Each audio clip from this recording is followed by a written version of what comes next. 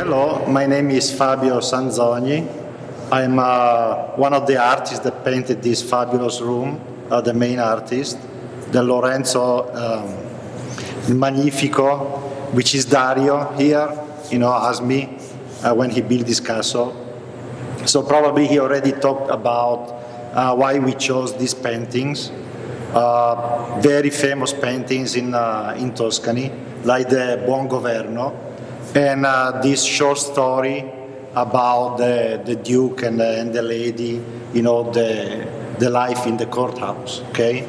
So the way we did this fresco is more or less resembling the way it used to be painted uh, as fresco. So fresco means it's being painted on fresh plaster.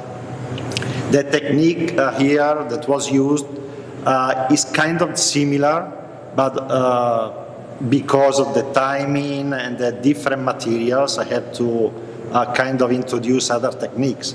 Uh, one of that is uh, fresco secco, which actually means painted on uh, plasters already dyed, dried. Okay, this technique was used in the Middle Ages too, to go back on the fresco to touch it up, uh, enhance some colors, modify it, and uh, all those things that the artist was supposed to be doing to present a better fresco, a better painting.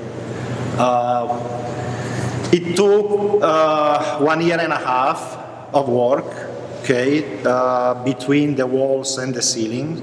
Uh, the ceiling is a fantastic ceiling. Uh, in Italian, it's called uh, cassonato because it's all made in squares, you know, big beams, frames, and moldings uh, three different designs uh, painted in a kind of monochromatic color with some accent, which enhances the, the entire room. So the size of the frescoes uh, compared to the originals are a little bit different to fit the, the wall of, the, of this room and to, to make it a better impression. Like, you know, on, the, on this side of the fresco of the Buon Governo, the original is much, much smaller. It's probably half the size. Uh, we had to blow it up a little bit, introducing the different pieces, uh, but it came out fantastic.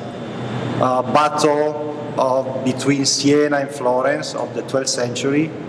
Uh, even this one is modified and introduced some horses, you know, uh, in the foreground, and the people are kind of, you know, looking at these horses and they say, "Oh, how come you see?" this part of the horse, you know, probably gonna see it later in the in the film.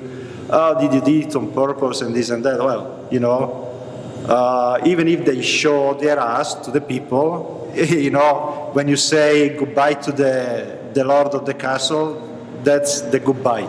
okay, I mean there are some, you know, during the Middle Ages and even later on, uh, if you uh, left it to the artist, so the artist was uh, putting uh, something of his own, or some uh, ironic things, some some motives in the painting to say something about the characters of the time, the use of the time, and to create a little bit of a, a conversation about this thing.